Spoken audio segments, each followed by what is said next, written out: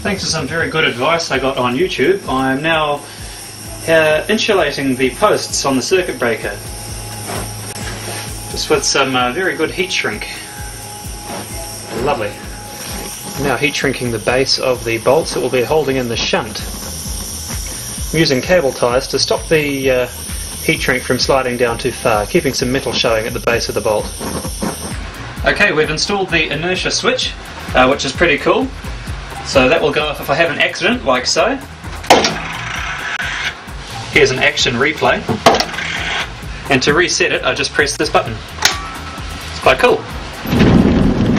Well, apparently my batteries have arrived, so I'm on my way to the office to go and collect them and go, go chuck them in the car.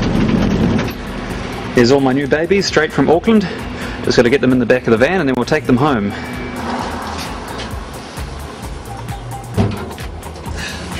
Fits well so far. Well, it's looking good so far. I just have to remove this piece of metal, which I did on the other side, uh, so I can get that last battery in. Otherwise, they fit in there with a little bit of room to move, which is good. I'll secure them properly soon. Then I've got one more battery to put in there. And down the back of the car, it's a bit dark down here, but you can see the six in the back fit in okay. I'm now going to create a base for the batteries to sit on and the box surrounding the batteries. Then I'll get a clamp down created to hold them all down and then a top section of a box which I can take on and off to put water in the batteries. Right, the battery box base is halfway done. Oh, this is Rob's handiwork. Leave it alone. Here's the base platform for the front batteries. It's looking good so far. Alright, the box is in, it fits. Now I'm just going to uh, tidy it up and get it ready for painting. Right, I'm now painting the battery box with uh, a very, very hard resin paint that is um, waterproof, um, chemical proof, and flame resistant as well. So it's, uh, it fits all the specs for the uh, New Zealand rules. So I'm just putting a good thick layer of it on there, then I'll put another coat on afterwards. While the special paint's drying for the, the rear box, we're now going about creating a surround for the batteries to stop them moving about. All the batteries are now supported in with their little supports around the sides there and the and underneath. And we're now going to use some steel, stainless steel strapping to um, secure each battery in individually. To help insulate it, we've put each of these uh, stainless steel straps through some clear PVC piping. You can easier see said than done. It was easier said than done. It was a pain in the backside getting it through there, but we've got it there in the end and it's looking quite snazzy. This is number one we're just putting on. Right. Okay, we've got the front batteries in at last. Uh, as you can see, we've used a stainless steel strapping with a PVC uh, clear pipe going over the top of the batteries, just to make sure that it's strong, but uh, but also insulated and looks quite good as well.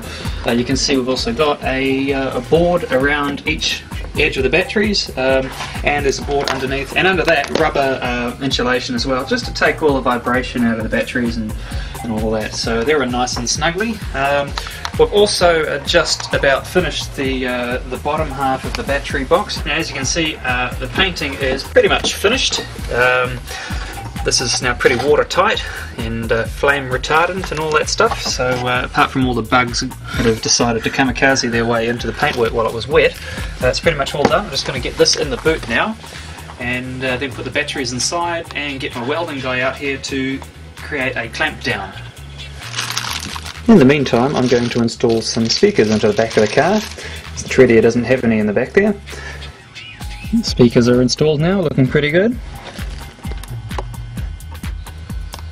I've decided to use stainless steel strapping for the back battery racks after all.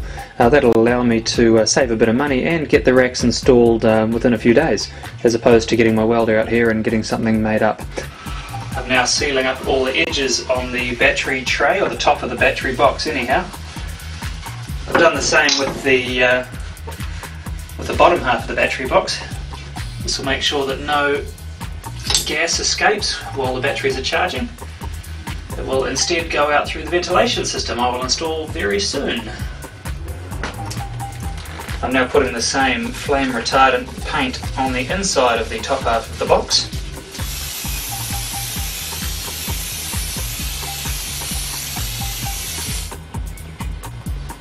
Top half of the box is looking good. Well now we're going to secure the rear batteries and uh, then we can start installing the top half of the box onto the batteries. Now I have the strapping in place, I'm just going to install the box on top of it. I'm now off to the hardware store to go and get some more flexible pipe that will protect the steel strapping from damaging the batteries. Just got back from the hardware store with some clear PVC tubing which I'll be using to protect the batteries. I'm just going to slide this over each steel strap before it wraps around each battery.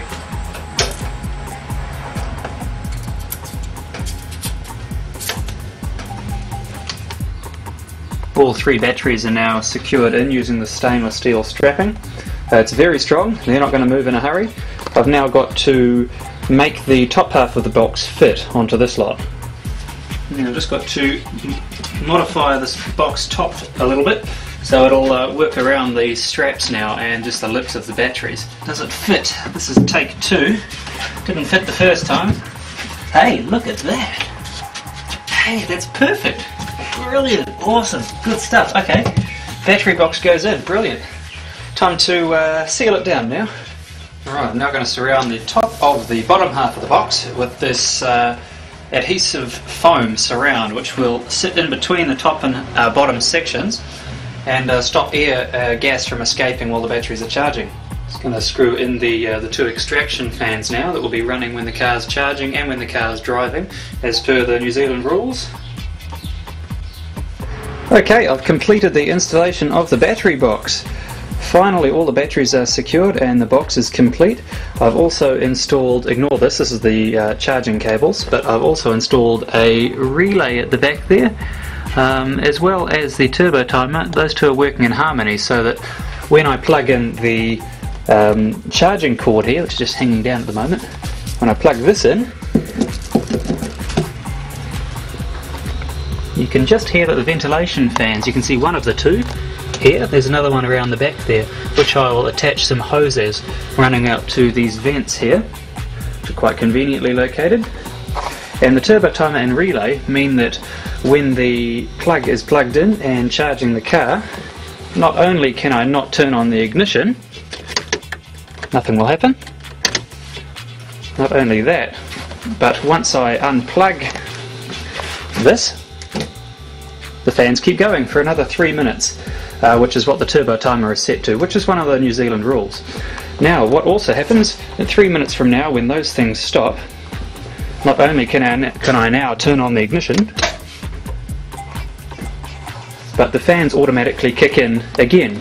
And once I've turned off the ignition, the fans will keep going for another three minutes extracting air. Let me show you how the battery box looks from inside. As you can hear the fans are still going, so I've put a little easily disconnectable plug at the back here. Turns the fans off and allows me to disconnect these simple latches and take the sealed uh, cover off the battery box, revealing all the batteries nicely tied down. And to uh, put it back on, I simply put the box back on, which seals once I clamp these down, and plug in the ventilation fan system. And it kicks back into life because the turbo timer hasn't uh, it hasn't been three minutes since I turned off the ignition. So everything is going perfectly. Now I just wait for the cables to come back from uh, my crimping guy over in Tauranga who's uh, crimping the cables for me. And uh, this weekend I shall start installing all the cables and with a little bit of luck we shall do our first test drive this weekend. Let's hope.